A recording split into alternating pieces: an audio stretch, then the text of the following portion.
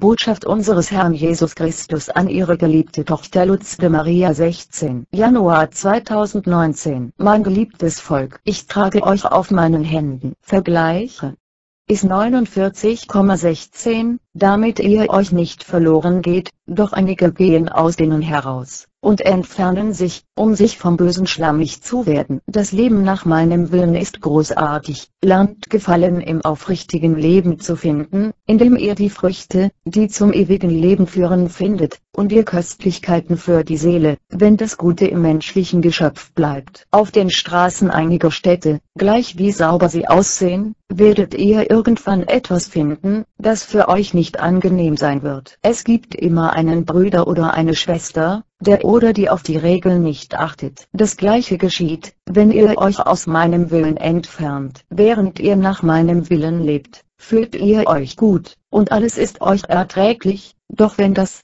Ego nicht auf dem richtigen Weg gesteuert wird, es gerät außer Kontrolle, und alle guten Absichten schlammig werden. Dann, kommt der Sturm an und löst Chaos sogar in das aus, was ihr in euch für fest verankert hielten. Mein geliebtes Volk, bei den jetzigen Bedingungen gibt es keine Zeit auf eine innere Wandlung zu warten. Der Teufel lauert mehr denn je. Er dringt stark gegen meine Kinder an, um sie zu überzeugen, sich von mir zu entfernen und auf mich zu verzichten. Daher, treten Besessenheiten häufiger vor, doch sie werden weniger erkannt. Ich lade euch ein, diese Offenbarung nicht wegzuwerfen. Sie ist die unerschöpfliche Nahrung damit ihr, Kinder auf die Zeichen und Signale schaut. Ich warne euch, damit ihr begreift, versteht und dieses Verständnis auf die Praxis bringt. Auf dieser Weise gebietet ihr Einhalt um dem freien Willen, der euch zum Denken dazu führt, ohne mich von all dem, was auf der Welt geschieht gut davonkommen. Mein geliebtes Volk, das Gesetz wurde nicht gegeben, damit ihr weiter in der Zügellosigkeit beharrt. Das Gesetz wurde gegeben, damit ihr es befolgt, und nicht damit ihr macht was ihr wollt. Ich rufe mein Volk auf, in der Güte zu leben, und sich nicht davon zu entziehen. Ich rufe euch auf, untergeordnete Sachen nicht zu kosten. Das ist die Folge des missbrauchten menschlichen Willens. Ich rufe mein Volk auf, von übergeordneten Sachen zu leben,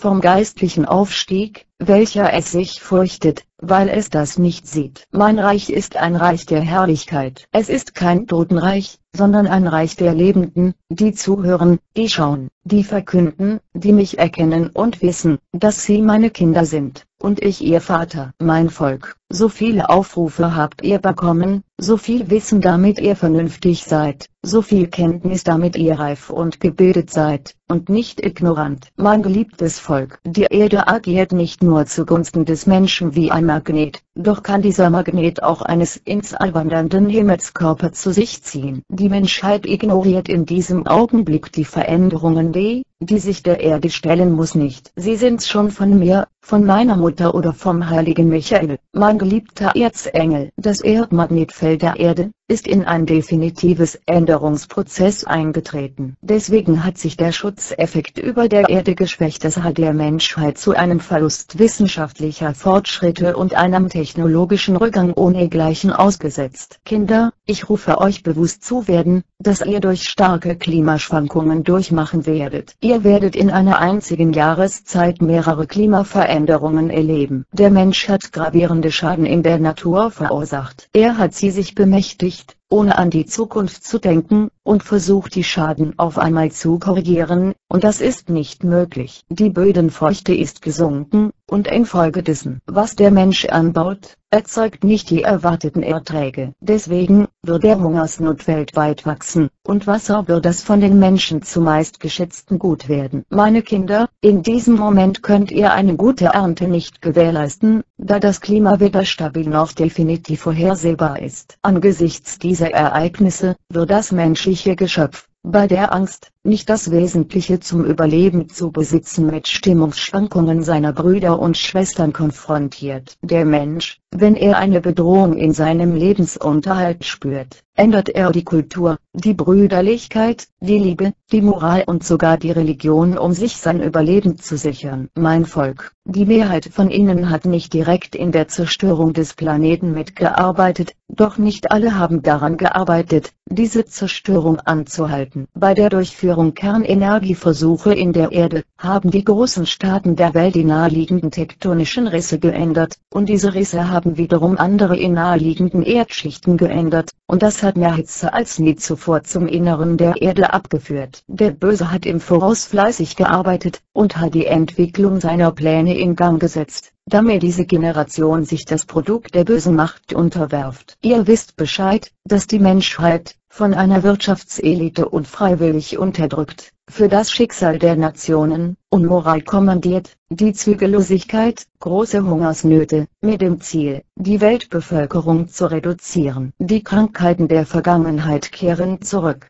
und das liegt darin, dass sie in einigen Laboren wiederbelebt worden sind. Die Manipulation, in der ihr lebt seht so, dass ihr mit großer Verwunderung eine Nachricht, die meine Kirche erschüttern wird, so dass die falschen Propheten in ihren Wahrsagungen abweichen werden. Mein Volk, bewahrt der Glaube an mir, ich werde euch keiner Steine anstatt Brot geben. Ich werde euch nicht sagen, hier bin ich, und euch den Bösen konfrontieren. Ich bin euer Herr, und vor mir verbiegt sich jede Knie. Vergleiche.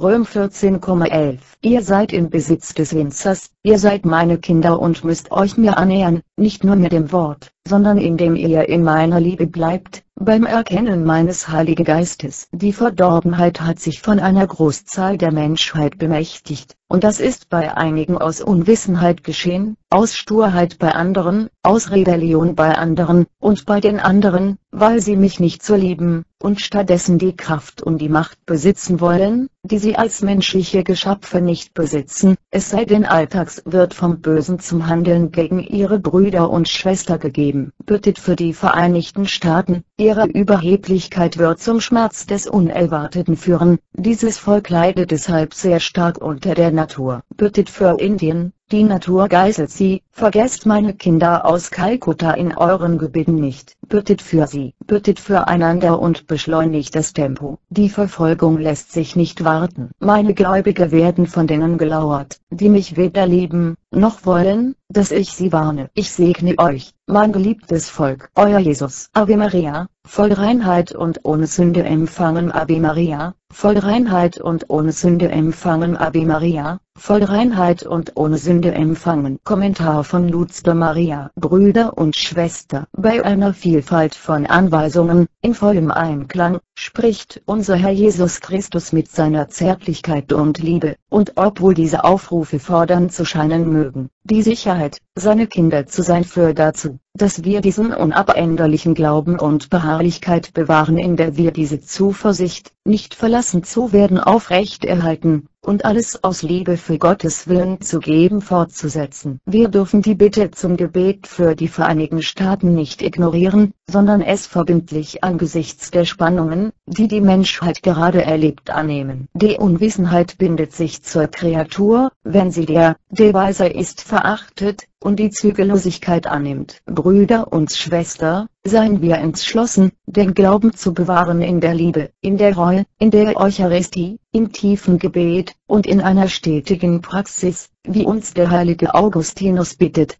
Mögen wir demütig unser Elend beichten, und die Herrlichkeit als von Gott stammend anerkennen. Amen.